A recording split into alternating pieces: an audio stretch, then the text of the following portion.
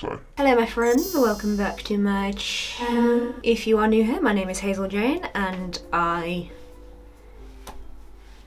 paint crap on my face. In this case, like quite literally. If you've been following me for a while, you will have probably seen that I have been very slowly working my way through the alphabet for makeup inspiration. I literally started it like two years ago. I really wanted to film the process that I did for this look, which is for R, or in this case, Rococo? Rococo? Rococo? I was originally looking at Renaissance because I love Renaissance art and all that kind of stuff. The more I looked into it, I started seeing things like Rococo. I believe Rococo was around the 18th century France, like super, super opulent, lots of pastel colours, very bright, insanely over the top and ornate and very, very pretty. I had the idea that I wanted to do this kind of picturesque frame moment, so I decided to try using foam clay to sculpt this. I have never used it before. I learned a lot from using it, but I did actually film the process of how I tried that out for the first time as well, so that was Fun. to be fair, this was a really fun makeup to do. It's very different to the kind of stuff that I normally do, so it was a challenge to say the least. It was very much a trust the process until the end and all the bits started kind of coming together, so if you would like to see how I created this, then let's go. So I started off by making the frame piece for this look, and for this I used foam clay and my lovely assistant Bartholomew. As I said before, I've never used foam clay and I didn't want it to get stuck on dear old Bart, so I wrapped him up in cling film and used a few safety pins to just secure it in place. After I determined that Bart was suitably protected and I could start planning out my design. Having the cling film also meant that I could draw my design directly onto it without ruining the mannequin as well. I found loads of different reference pictures and examples of Rococo style art online and I took different elements to try and create this gilded frame design, just going back and forth from either side to try and keep the symmetry there, as there was lots of swirls and loops and very dynamic shapes within this era, which to be fair actually made it work really well for fitting around the face shape. Next up came the foam clay, and when I tell you this stuff is a sensory nightmare, it smells so bad and the texture is so weird. It's somewhere between slime and slightly melted marshmallow, and it felt about as sticky as well. I started off by rolling out segments, which I then curled and used as the main sort of structural elements for the piece. I had absolutely no idea what I was doing though, so those first few especially were uh, a bit rough. I had a few tools on hand to try and help with texture and smaller details, like you would use with like regular clay, but foam clay is a lot spongier, so honestly I don't really know if the tools made much of a difference.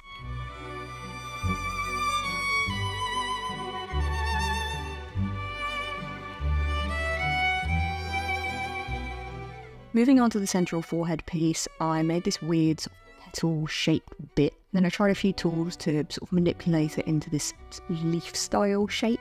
Again, the tools weren't super helpful, so I ended up using my fingers, which at least meant that the shapes were fairly uniform.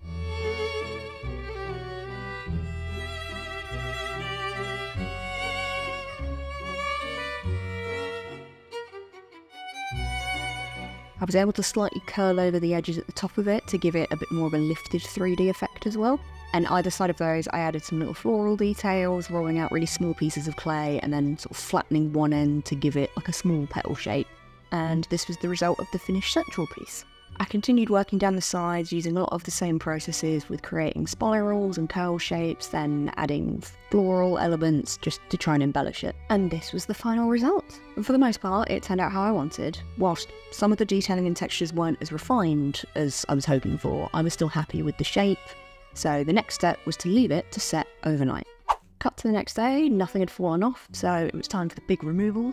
It lifted quite easily from the cling film, but it was still quite a finicky process, but in the end I managed to lift it off in one piece. And then we move on to the makeup. The first thing I needed to do was check the size and position of the frame. Now, because I'd used a generic mannequin and not a proper face cast, it was never going to be a perfect fit to my face, but the foam clay is very light and you can easily manipulate it to bend slightly around the shape. I realised that the top of the piece sat really close to my hairline, so I opted to put on my wig first rather than risk ruining the makeup on the frame piece by putting it on at the end.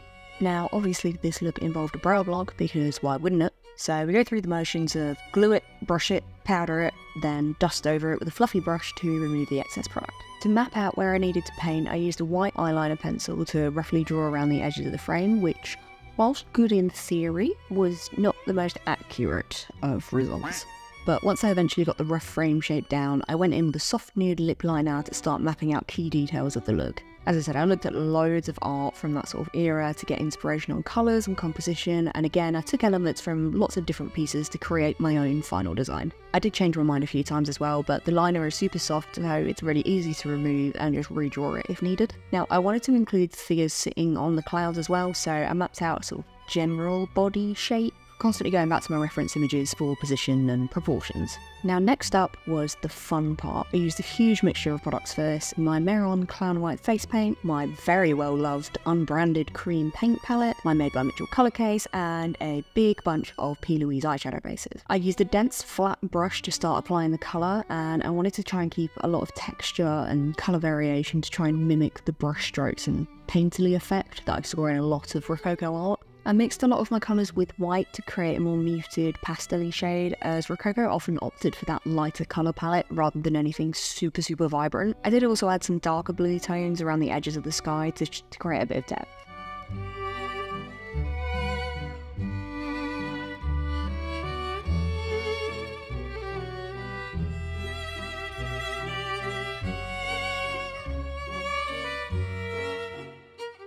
I really wanted to work in layers for this look, so I went in with my RCMA no colour setting powder. I used a really big dense brush to set all of the colour that I'd laid down, which would allow me to apply shadows and other colours over the top of it without it all blending together. I did my finger test to make sure it was all set, and once they came away clean, it was time to move on to shadows. I used a combination of shades from the Revolution Makeup Game of Thrones palette, my Made by Mitchell Head in the Clouds palette, Morphe Ashley Strong palette, and the Nomad Cosmetics Ghost Town USA palette. I started to go back in and add some depth and richness back to the sky base, as I did lose a bit of the texture after setting it, so I made sure not to blend the eyeshadow out too much, keeping a really loose grip on the end of the brush to ensure a very light hand when applying it. I also decided to use a cool toned purple shade just to almost mimic blusher on my cheeks and sort of around my lips. Now the next layer was the clouds and again using a flat brush I used the same technique to lay down the colour and try and create very organic shapes and texture.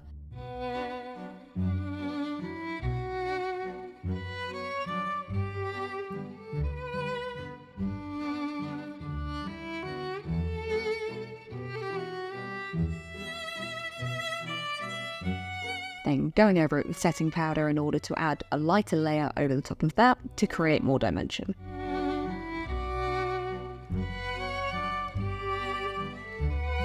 I then decided to add some lighter shades over the sky as well, just to stop it looking too flat.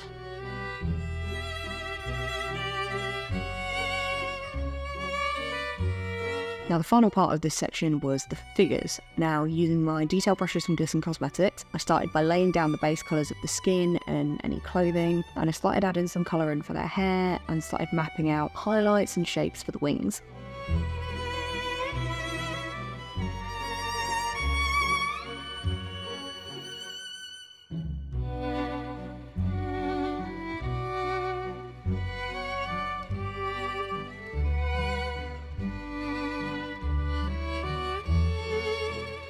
Once I was happy with that, I used the Morphe 18C2 palette on my smallest detail brush to add some shadow and general shading.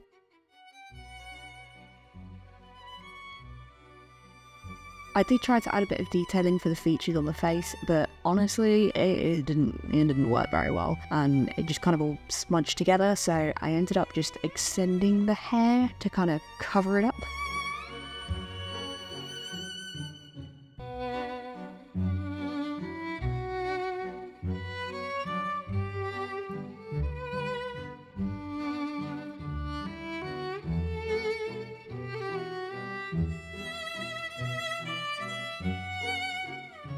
I opted for a soft pinky blush colour over my lips, focused mainly on the centre and then diffused out with the blue shades to create a powdered ombre effect. And once that was all done, it was time to add the frame. So I used the central forehead piece as an anchor, then slowly worked their way around the sides with lash glue to secure the rest of it. Now once I was happy that it wasn't going anywhere, I used very thin layers of white face paint around the rest of my face and down my neck as a base for that sort of super pale powdered skin look that was often associated with Rococo. I used a light grey shadow to add a bit of depth to my collarbones and jawline, and then I went in with a pinky shade to add a blushed effect to the rest of the skin. Then lastly, it was time to paint the frame. Looking back, I should have applied a darker base coat and then brushed the top of it with gold, as unfortunately the gold cream paint that I used was not very pigmented and it left quite a patchy finish. I did try to use a deeper brown tone among like the cracks and crevices of the design, which helped a little bit, but you know,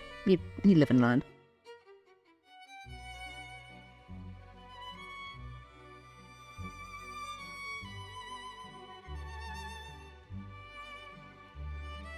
Once the frame was finished, it was time to sort out the hair and add all of my finishing touches, with the end result being this. Overall, I was really, really happy with the final outcome, and generally, it was just a really fun makeup to do. If you've made it this far, thank you for sticking around. Let me know what you guys think of this look, of this process. What other looks do you want to see? If you want to hit that like and subscribe button, then that's that's up to you. Otherwise, I will see you guys next time. Bye bye.